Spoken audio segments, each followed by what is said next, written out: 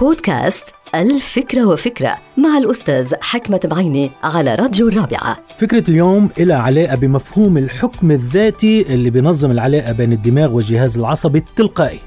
الجهاز العصبي بشكل عام بينقسم إلى قسمين الجهاز العصبي المركزي اللي فيه المخ والنخاع الشوكي والجهاز العصبي الثانوي اللي لا يشمل المخ والنخاع الشوكي ولكنه مسؤول عن تحويل الرسائل من الحواس الخمس إلى الجهاز المركزي وبالعكس. فإذا في جهازين.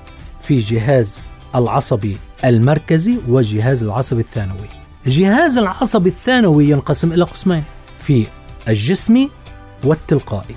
الإنسان مثلا قادر على التحكم بالجسم إراديا من خلال بعض العضلات والروابط فيما لا يستطيع أن يتحكم بالتلقائي يعني الجهاز العصبي الثانوي التلقائي أبدا لأن التلقائي يتمتع بحكم ذاتي ويتحكم بعمل الغدد والأوعية الدموية وبعض الأعضاء الداخلية والخلايا يعني الدماغ والجهاز العصبي كلهم ما فيهم أحيانا يتحكموا بعمل الغدد والأوعية الدموية وبعض الأعضاء الداخلية والجهاز العصبي وإلى آخره.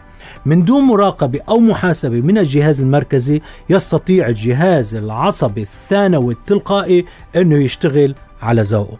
السؤال لماذا يسمح دماغ الإنسان للجهاز التلقائي بهذا الكم من الحكم الذاتي؟ ألم يحن الوقت للدماغ أن يضم هذا الجهاز إلى سلطته المطلقة؟ وهل من الأفضل للإنسان أن يتحكم دماغه بالجهاز التنفسي والهضمي وحركة الدم ودقات القلب وغيرها من الأعضاء والخلايا؟ أو بس يتمتع بحكم ذاتي؟ الجواب أكيد لا لأنه لا يجوز لهذا الدماغ أن يتمتع بكل الصلاحيات لأنه أحيانا يقع تحت تأثير تشويش والخوف والعواطف الجياشة والحب الأعمى وغيرها من العواقب والمفاجآت والمشاكل. انتهت الفكرة. هذه الحلقة مقتبسة من كتاب الفكرة وفكرة.